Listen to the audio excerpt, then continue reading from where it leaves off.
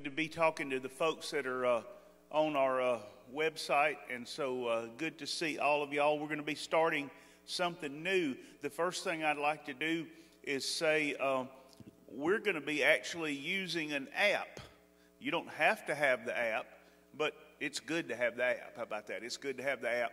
Uh, if you have a smartphone, and almost everybody's got one nowadays, or, or a tablet, or uh, anything, any uh, smart electronic device, we can get the app on it. So uh, Jen is taking names of the people that are interested in getting the app. Also, after church tonight, uh, Robbie and Jen will be available to help anybody. Huh? And Candace, Candace, Candace and Robbie will be there. She is. There's Candace. Thank you very much. Uh, they will be available to help folks get the app on their phone um, because this is sort of an interactive kind of uh, Bible study. It's certainly uh, not exactly what I'm used to. And, and it's interactive in more ways than one. You're going to have an app if, if you choose to participate in that. We're going to have videos that we're going to watch. And it's also interactive in the sense that it doesn't work if I just get up here and talk. There are going to be questions. And it, the thing is designed for you guys to participate. It's designed for you guys to be involved in it too. It's a interactive, two-way street kind of thing. So if you guys don't participate, it's not going to take me long to get through because a lot of this is based on you guys answering questions and, and us discussing things together. Discussing things together. uh, the name of this series is Listen. And Listen is a 40 week series. This will be the introduction tonight, but as I understand it, this listen series goes all the way through the Bible, beginning in passages in Genesis and ending in passages in Revelation. So it's a 40 week series. And something else that's very unique about this thing that we're all going to be doing together is literally every age group in the church is going to be doing this together. Now, it'll be age appropriate for each age group, but the scriptures that we look at and the ideas that we talk about and the lessons that we learn, every age group in the, group, in the church. So you can talk to this, talk about this with your kids, or you can talk about this with your grandkids. Something I've never actually participated in anything like it before. So I'm, I'm really excited. Um, so the name of the thing is listen. Listen. And, and so I was thinking about scriptures that talk about listening to the Lord. And, and the first thing that I thought of, and it's going to be a very familiar scripture to a lot of you, is from Deuteronomy. It's Deuteronomy 6 4. You think you can get that on the screen? Deuteronomy 6 4. Hear, O Israel, the Lord our God is one Lord. Now, that's a very interesting verse of Scripture because it's very central to every devout Jew. Every devout Jew says this verse of Scripture when they open their eyes in the morning and before they go to sleep at night and they intend for it to be the last words that they breathe. They want it to be the last thing they say. Hear, O Israel, the Lord our God is one Lord. And if we think about the context in which this was written, this was written to the people after they've left all of the idolatry and the many gods, the polytheism of Egypt, and they're about to go into the land of Canaan where there are many, many gods and many distractions and many things seeking their attention. And God wants them to listen and know that there's one. That there's one. And so the name for this prayer in Hebrew is the Shema prayer. The Shema prayer. And that's because that word translated here in English is the Hebrew word Shema. Now, in some modern translations, it's translated listen. You can find that. I went to my Bible Hub app and I saw 20 different translations, and some of them say, Hear, O Israel, and some of them say, Listen, O Israel. But all of those miss the point of what is meant by the Hebrew word Shema.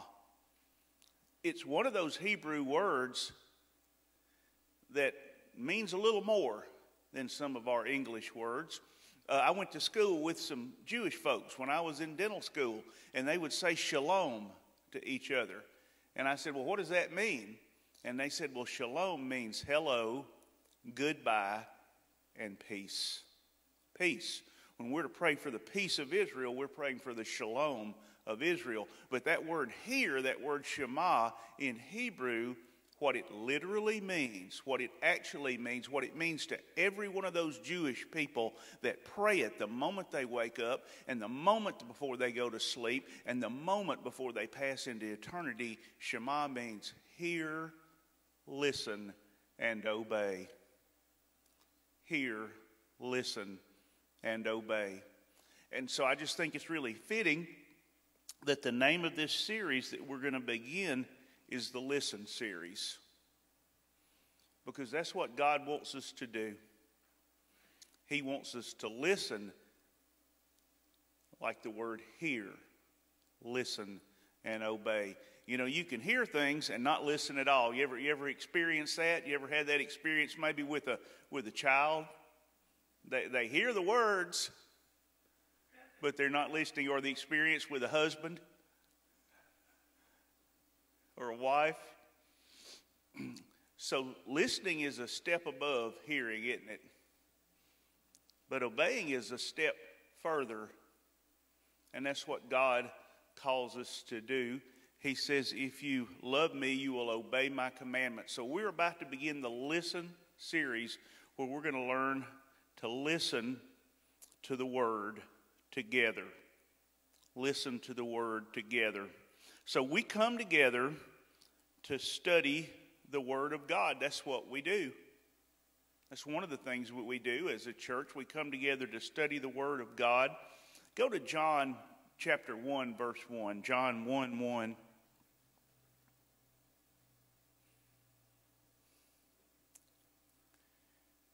It sounds a lot like Genesis 1, doesn't it? In the beginning was the Word, and the Word was God and wait a minute, in the beginning was the Word, and the Word was with God, and the Word was God. In the beginning was the Word, and the Word was God, and the Word was with God. If you read on down in that chapter, it says, And the Word became flesh and lived among us. So we come together to study the written Word, but the written Word is a living Word. And another name for Jesus is the Word. So when we study the Word, Jesus is in the Word, and the Word is in Jesus. So we're going to be studying the Word, and we're going to try to learn to listen together to this living, God breathed Word of God.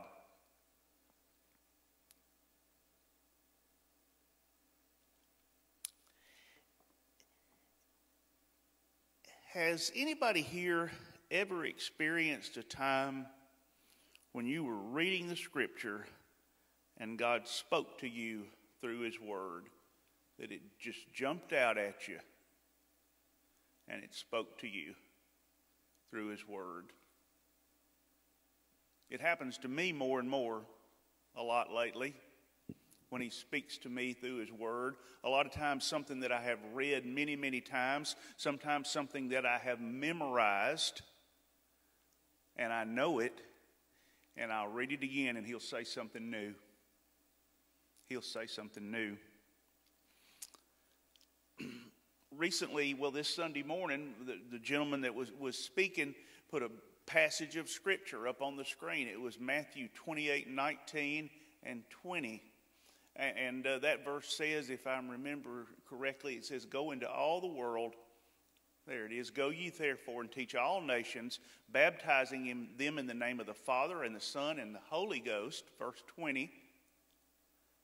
Teaching them to observe, to obey all the things whatsoever I have commanded you. And lo, I'm with you always, even unto the end of the world. Now, every time I ever read that in the past, I just to make my English grammar a little better in my head, I put an S on the end of that. Lo, I'm with you always. But this Sunday, for the first time ever, as I read that, it, it, spoke into my heart something I had all, always missed. And maybe you always got it, but it was new for me. See, it says always because He's with us all the way. He's with us all the way. And so, as we read Scripture, he speaks into our lives. And we want to make sure we learn to listen as He speaks into our life.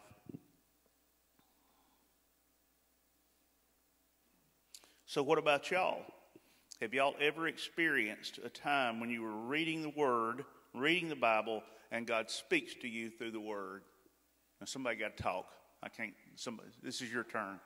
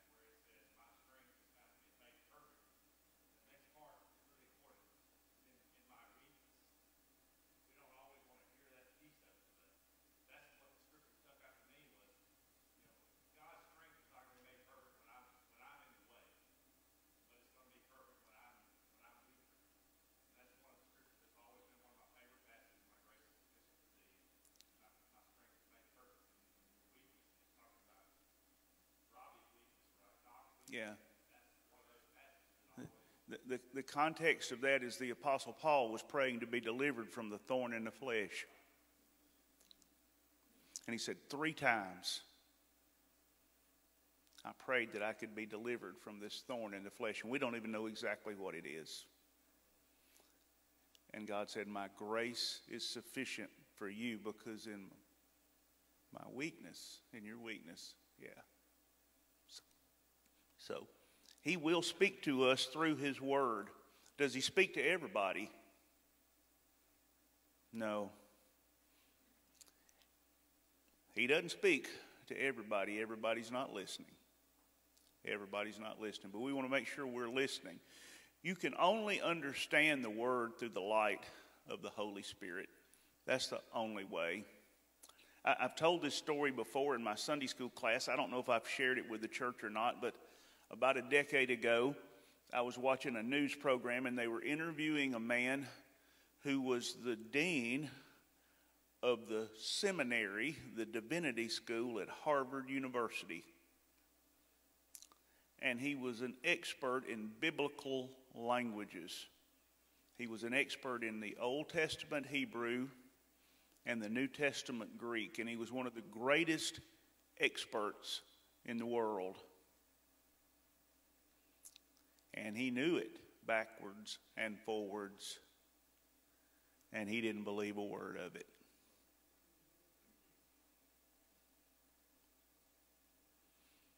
See, it didn't speak to him. But God wants to speak to us, and He will speak to us if we listen. If we listen. My phone keeps going dark, and I have to keep calling my app back up. Would you uh, go ahead and play the video for everybody?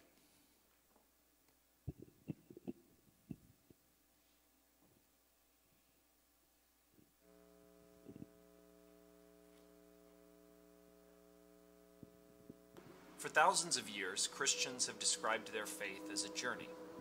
It's an image Jesus returned to again and again, calling his disciples to follow him describing the wide and the narrow ways. That image of traveling a path so captured early Christians that the first believers called themselves people of the way. They saw themselves as a community of followers on a journey together. While our lives and our worship may seem so distant from those first believers, we are still traveling that same path. And 2,000 years ago, Jesus' first followers found their way gathering together, opening their hearts in prayer, and listening as the Holy Spirit called them forward into the world. It was the same Holy Spirit who calls us today. Just after Jesus' resurrection, he came across two of his followers walking along an ancient road toward a small town called Emmaus. Something prevented them from recognizing who he was, even as they were discussing the devastating news of his death just a few days before in Jerusalem. It's a moving scene, but what Jesus does is even more moving. He walks with them, and he begins to explain to them from all of the scriptures, from the beginning of Genesis and on through the prophets, how this death and resurrection had all been predicted. Could you imagine a small group discussion with the resurrected Jesus? Their path eventually led them into a home for the night and around a table for the evening's meal.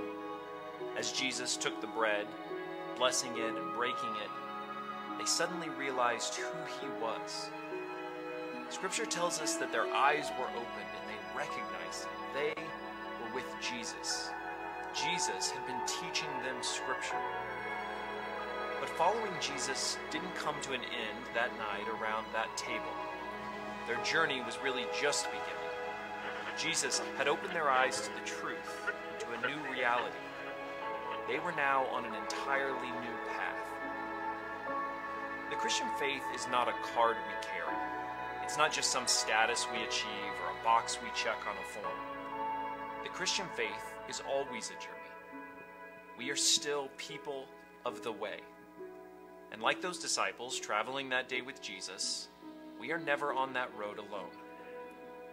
As our eyes are opened, we too discover a new way, a community, and the words of God calling us forward. And like those disciples on the road that day with Jesus, our most primary task is to listen. We are always listening. And as we listen, this story, the biblical story, comes alive. God has been walking with his people from the very beginning. From that first morning in the garden with Adam and Eve, to the decades of Israel's wandering in the wilderness, to Jesus' days with his disciples on rocky Galilean shores, and still, as the Holy Spirit is poured out into our hearts. As the psalmist would express it, your word is a lamp to guide my feet, a light for my path. The Bible illuminates our way and guides us on this journey. But listening is hard. Listening requires patience, it requires attention, it requires humility.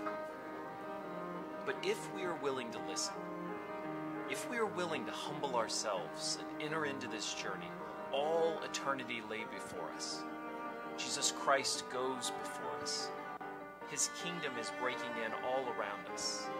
Narrow is his path, but those who are willing to follow find on it a journey of peace and hope and joy and community. We find a new community of brothers and sisters with us on this way. But it all begins with a simple question Will you listen?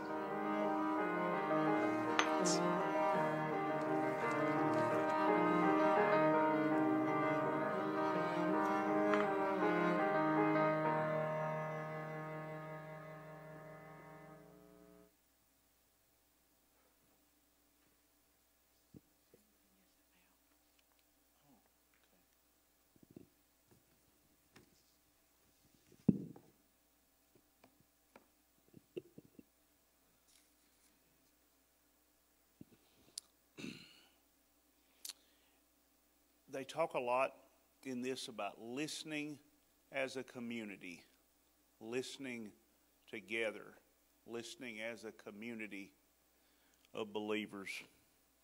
Um, we're, we're all on the way. We're all on the journey. The early Christians called it the way. You know where that came from, don't you? Jesus said, I'm the way. I'm the way. And so we're all traveling on the way. And we all travel alone, but we all travel together. And so it's a community. And so the, the idea behind this is so we come together and we listen as a community. Now, the app also has daily devotions, and uh, I think there are four or five daily devotions for each week, and I'm going to study those. I encourage y'all to study those. I encourage y'all to, to, to look at what we're going to be talking about because there are a lot of those interactive questions.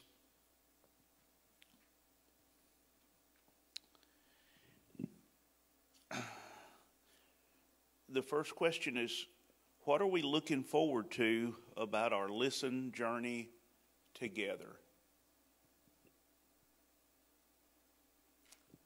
I think we'll learn things together that we won't learn apart.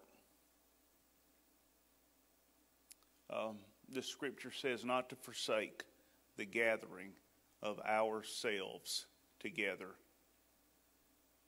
And so that's a command. We're commanded to come together. And we're not commanded to come together because it's a burden. We're commanded to come together because it's a help. It's a help. So we're going to come together and we're going to be on this journey together and we're going to listen together.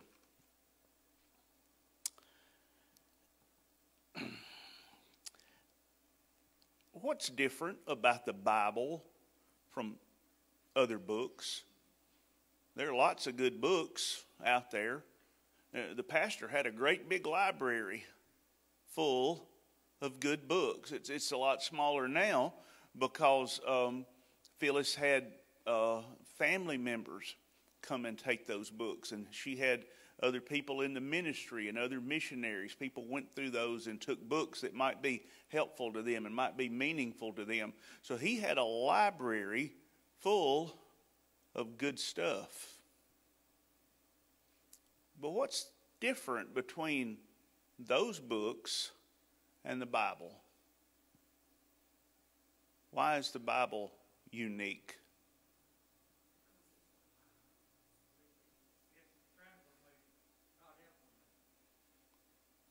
It's alive. It's alive. Uh, I think it's 2 Timothy 3.16. All scripture is God breathed. God breathed. Now, let's go back for just a second to the book of Genesis, to where God created Adam. Says he formed him from the clay of the ground. And what did he do to bring him to life? He breathed into him. Adam was breathed to life. And all scripture is what? It's God. It's God breathed. It's alive. It's alive. And so the difference between the scripture and all those other books, and there's plenty of good books out there. There's a lot of them that aren't so good, right? But they're good ones out there. But only the scripture is alive. And it's still just as relevant as it was 3,000 years ago when David wrote the Psalms, 2,000 years ago when the Gospels were written and the New Testament was written you know, sometimes I'll pull out a book that was a favorite of mine a while back and I'll read it and it's kind of out of fashion. Or I don't like it as much now as I did. Maybe some of the lessons in it didn't endure. But the Bible's alive. And that's what makes it different. It's alive. And because it's alive, the Holy Spirit can use that living word to work in us to change us. So every time we gather, we're going to watch a video that goes into the sessions Bible passage, and we're going to go a little bit further down this journey together. the Bible's central to our lives as believers. I said that Jesus was the Word incarnate. God's in the Word, the Word is in God. We don't understand anything about God apart from the Word. He's revealed to us in the Word. And so it's absolutely central to us. And, and so I was thinking about some of the ways that God's Word is so vital, so central to us. One thing is it's our, it's God's love letter to us. In this great big universe, how are you going to find God on your own? You can't find God. He has to find you. It's what's like the Chuck Norris joke. You don't find Chuck Norris, Chuck Norris finds you. I don't really believe that, but I do know that we couldn't find him. He had to find us. And he's spoken to us through his word, and the word is his love letter to us. And if you will read it, Jesus goes from Genesis chapter 1 to the end of Revelation. He's in the whole thing. He's in the whole thing. He's pictured in the whole thing. In types and shadows and symbols in the Old Testament and literally coming to life in the New Testament. It's God's love letter to us. But it's more than that, it's also God's instruction manual for life. I think we're beginning to see what a mess the world gets in when they begin to disregard the instructions.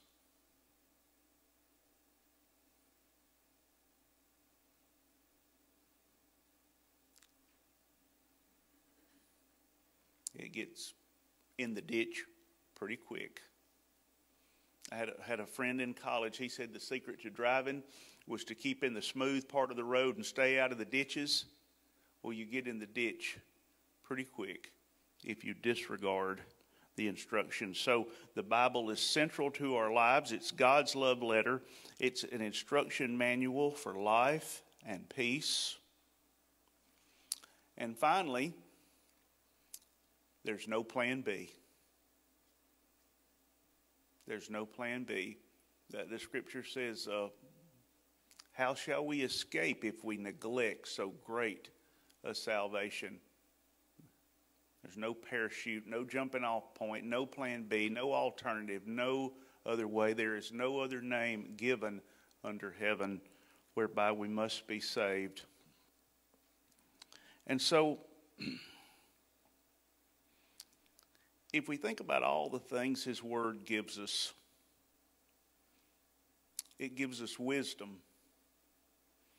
James, in his little book, says, If any man lacks wisdom, let him ask of God. It's the only source of wisdom. Uh, in Proverbs, it says, The fear of the Lord is the beginning of wisdom.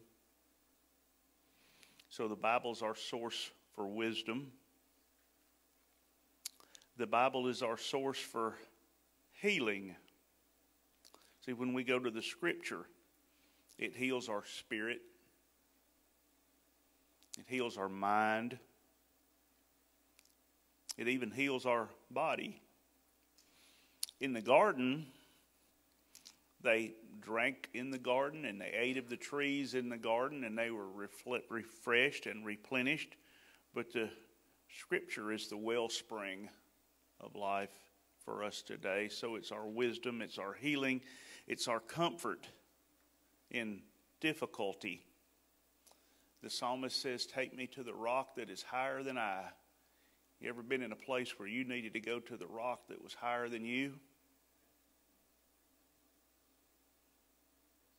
Well, you'll find that in the scripture. You'll find that in the Bible. And really, the scripture is our only source for encouragement.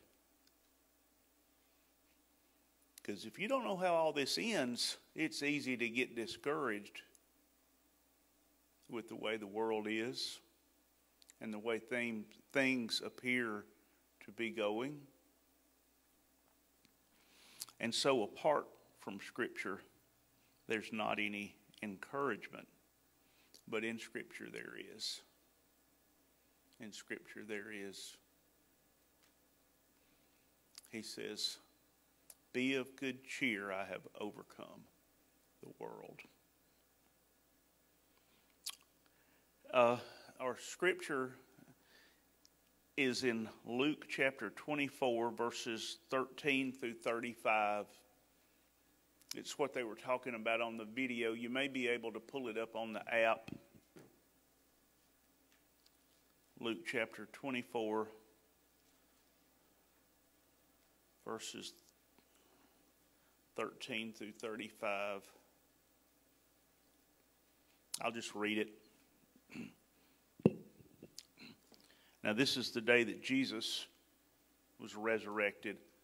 I'll read it in the NIV, beginning in verse 13. That same day, two of Jesus' followers were walking to the village of Emmaus, seven miles from Jerusalem. As they walked along, they were talking about everything that had happened. And they talked and discussed these things. And Jesus himself suddenly came and began walking with them. But God kept them from recognizing him. He asked them, What are you discussing so intently as you walk along? They stopped short, sadness written across their faces. Then one of them, Cleopas, re- replied, You must be the only person in Jerusalem who hasn't heard about all the things that have happened there the last few days. What things? Jesus asked. the things that happened to Jesus, the man from Nazareth, they said. He was a prophet who did powerful miracles, and he was a mighty teacher in the eyes of God and all the people. But our leading priests and other religious leaders handed him over to be condemned to death, and they crucified him. We had hoped he was the Messiah who would come to rescue Israel. This all happened three days ago. Then some women from our group of his followers were at his tomb early this morning and they came back with an amazing report. They said his body was missing, and they had seen angels who told them Jesus is alive. Some of our men ran out to see, and sure enough, his body was gone, just as the women had said. Verse 25 Then Jesus said to them, You foolish people, you find it so hard to believe all that the prophets wrote in the scriptures. Wasn't it clearly predicted that the Messiah would have to suffer all these things before entering his glory? Then Jesus took them through the writings of Moses and all the prophets, explaining from all the scriptures the things concerning himself. By this time they were entering Emmaus and the end of their journey. Jesus acted as if he were going on, but they begged him, Since the night is with us, it's getting late Stay the night with us since it is getting late. So he went home with them. As they sat down to eat, he took the bread and blessed it. Then he broke it and gave it to them. And suddenly their eyes were open and they recognized him. And at that moment, he disappeared. They said to each other, Didn't our hearts burn within us as he talked with us on the road and explained the scriptures to us? And within the hour, they were on their way back to Jerusalem. There they found the eleven disciples and the others who had gathered, gathered with them, who said, The Lord has really risen. He appeared to Peter.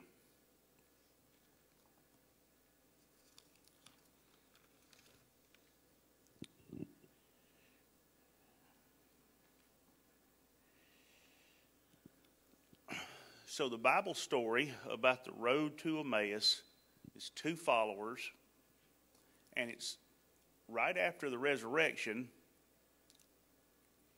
but they're heading to the house. Looks like they've sort of given up. They're kind of bewildered. They've heard that Jesus isn't in the tomb, but they're just tired and they're just going home.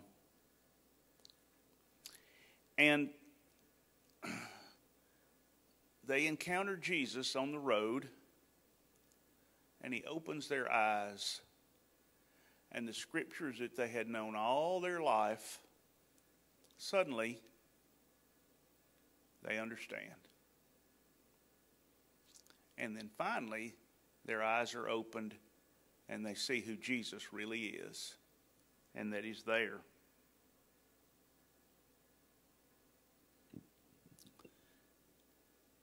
So, do you think there are people today who can read the scriptures and miss the whole point?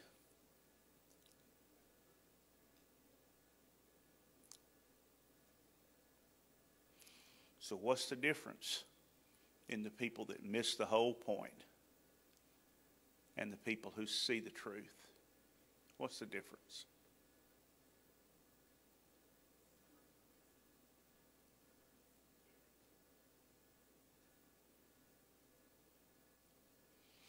Jesus said, He who has an ear to hear, let him hear. You got to be listening. You got to want to know the truth.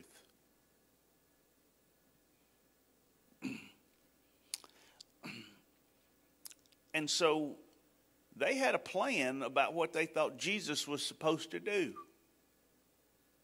They had this preconceived notion okay, here's what he's going to do. The Messiah's going to come and he's going to work miracles and then he's going to do things our way and it's going to work out just the way we think it ought to work out. And it didn't work out exactly that way. It worked out real different.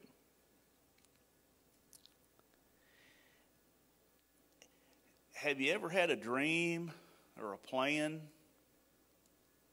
and it turned out differently than you expected? Or maybe God made it turn out differently than you expected. I, very, I bet very few people plan on spending their life in Nepal. I mean, it just doesn't come up every day in Butler, Alabama. Probably was a big surprise.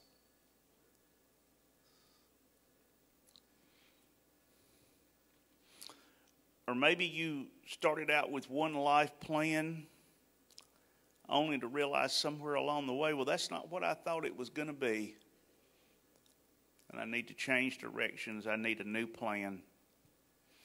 Or maybe you got just what you hoped for, just what you planned for, just what you worked for,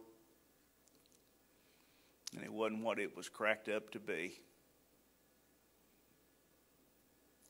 That's what it, the advertising on TV, that's what it's all about. If you'll just buy this, oh, if you'll just buy it, you'll just be satisfied finally and forever. If you'll just get this kind of whatever. This this kind of car, this pair of shoes, this what whatever it is they're selling today, whatever it is you're looking for. And you buy it, and guess what? How long did it keep you satisfied? Not very long. Not very long. Jesus reacts to what they had to say. Luke 24, verses 25 and 26. Jesus reacts to their, their point of view. Can you pull that up? Luke 24, 25 and 6. What did he say? O fools and slow of heart to believe all that the prophets have spoken. Verse 26. Ought not Christ to have to suffer these things and to enter into his glory? So, is it surprising that Jesus is upset with them for missing the point?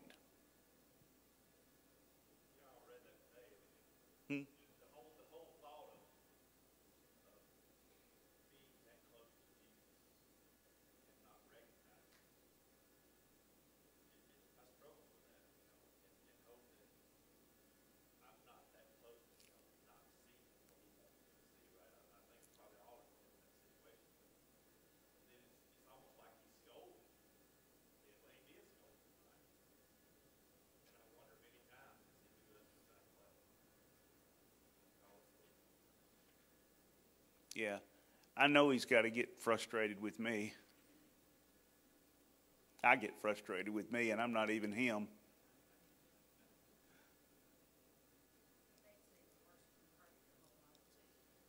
What now?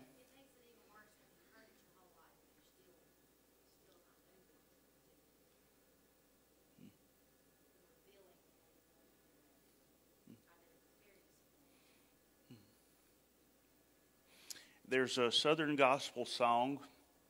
It's by a group called the Steels, and it's about the road to Emmaus. And look it up on YouTube if you have, have a chance, especially if you like Southern gospel music. But in this song, they say, uh, Oh, to have the chance like they did to listen to him teach the word. But I have the Spirit living within me.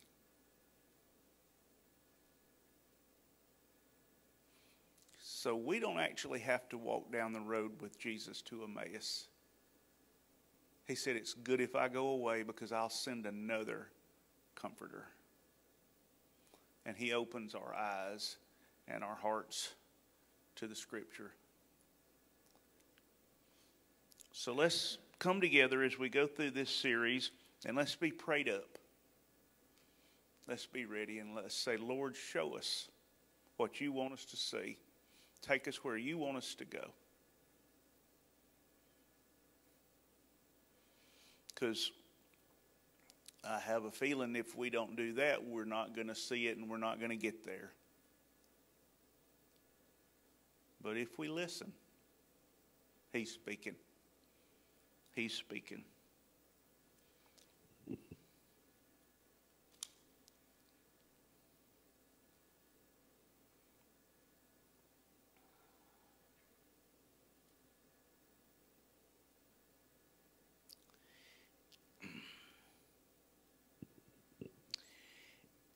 Do any of you have anything that you're hoping to hear from God while we're doing this listen journey? Are any of y'all looking to hear an answer right now?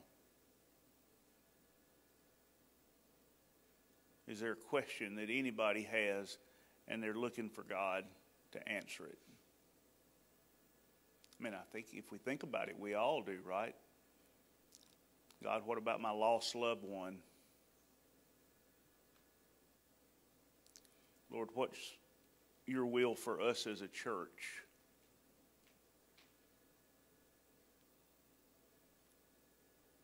Lord, what do you want us to do as we seek a pastor? What do you want us to do to get ready?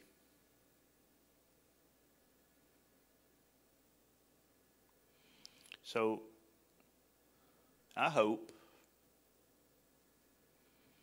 that I get some wisdom from Him about these things in my own life and in all of our lives together.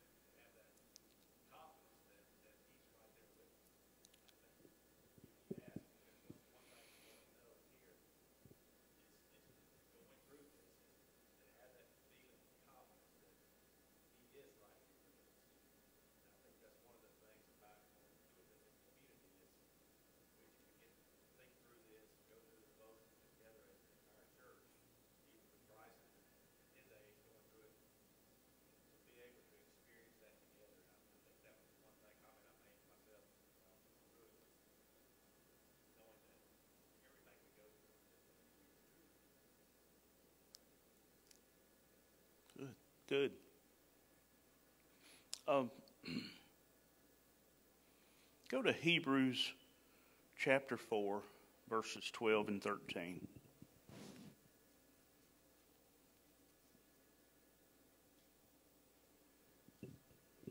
Hebrews chapter 4, verses 12 and 13.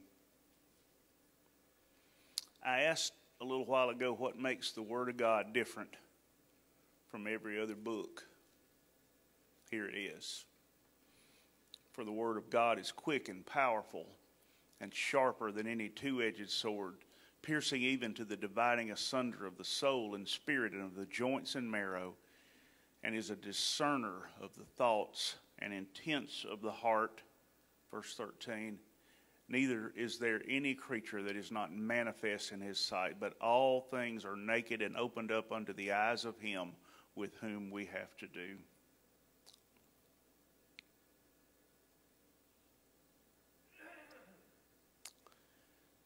So we said some of those things. God's Word is alive, God's Word is powerful. Paul knew what a two edged sword looked like because that's the sword that the Romans carried with them. He probably saw people lost, he saw, probably saw people lose their lives to those Roman two edged swords. And he said it's sharper than the sharpest two edged sword. Think about this it says, cutting between soul and spirit. Between soul and spirit. You know, I, I've heard it explained to me that we're made in the image of God. God is a triune being Father, Son, and Holy Spirit. There are three parts to us body, soul, and spirit.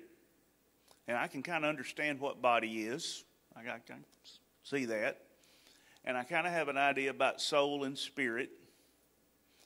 But in my head, those are kind of all wrapped up. It's hard for me to wrap my mind around what's the difference between those. And I've heard some people try to explain it to me.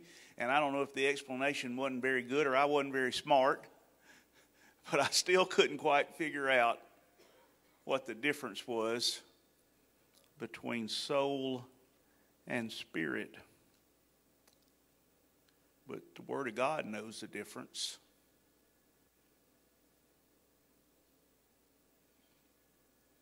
And if we'll get that into our lives, it'll cut away everything in the way. Everything in the way.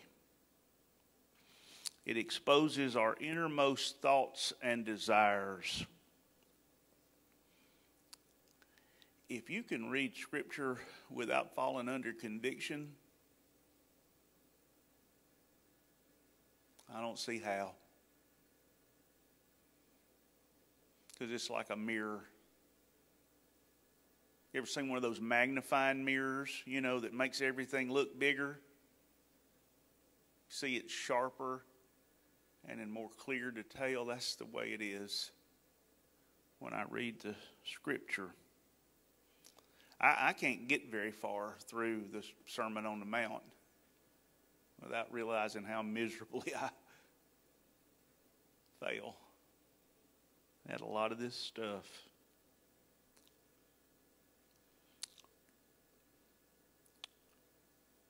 But He's working on me, and He works on me with the Spirit through His Word. With the Spirit through His Word.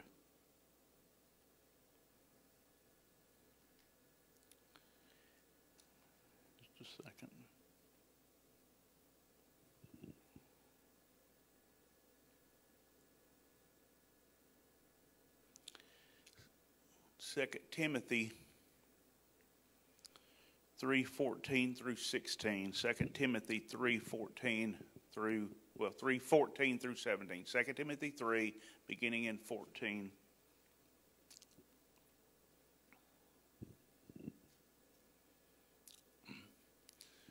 But continue thou in the things which thou hast learned and hast been assured of, knowing of whom thou hast learned them. Paul is writing to Timothy I guess I'll do it in a modern translation. It says,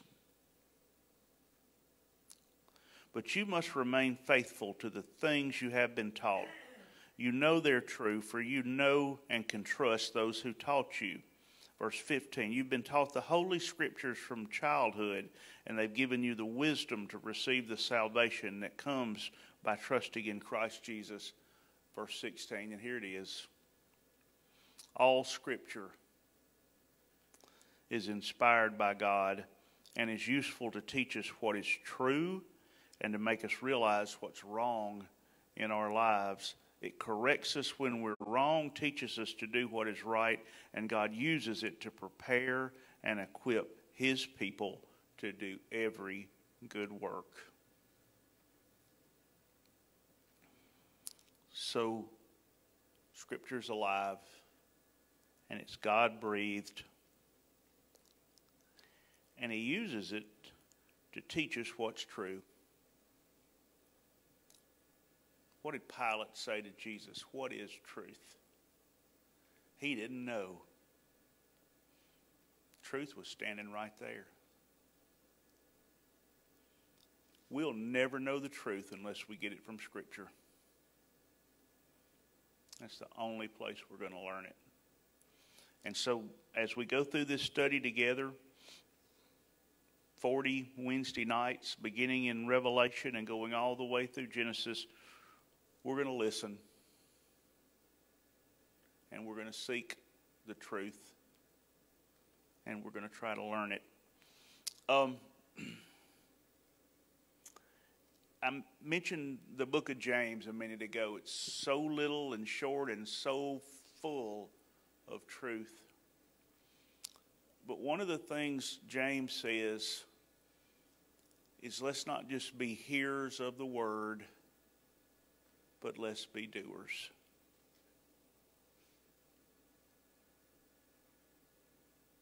Because if we hear and we don't do, well, James says, can that kind of faith save you?